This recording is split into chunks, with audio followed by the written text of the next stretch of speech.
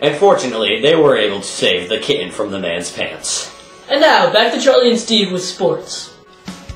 Hey, I'm Steve and this is Charlie for ClubComix Action Sports. Let's head down to the RBA to see how the Unicorns played against the Rainbows.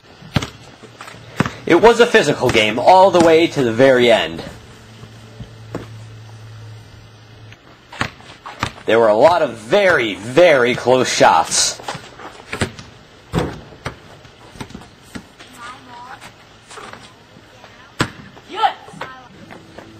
And some great defense.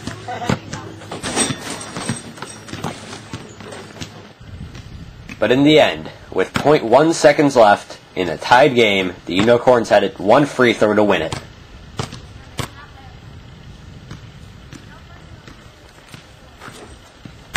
And the Unicorns won the game by a final score of 1 to nothing. In your face! Now let's head over to the RBL for a baseball game between the Princess Fairies and the Cupcakes. It was an overall well played baseball game today. We saw great base running, a couple of web gems here and there, and uh, actually, this is going to be a ball four. There's another ball four. Here's another ball four.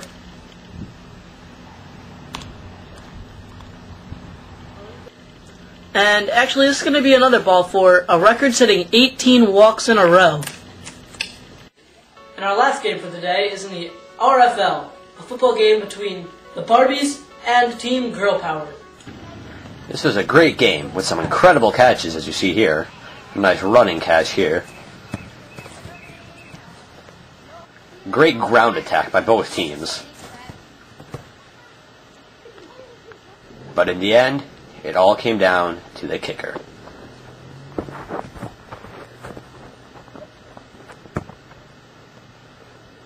And so with that 47 yard field goal, the Barbies win by a final score of 3 to 0.